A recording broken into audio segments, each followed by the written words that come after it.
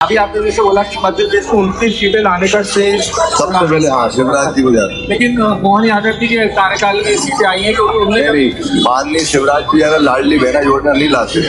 तो उसका बेनिफिट ही नहीं मिल पाता। सबसे बड़ा बेनिफिट उस चीज़ का मिला और पर माननीय हमारे प्रधानमंत्री मोदी जी तो उनकी जो गारंटी थी उसकी वजह से तो जो है माहौल बना। तो दोनों ने मिलकर साथ में माहौल बनाया और जो आज यहाँ सीट पहुँची है उन लोगों पर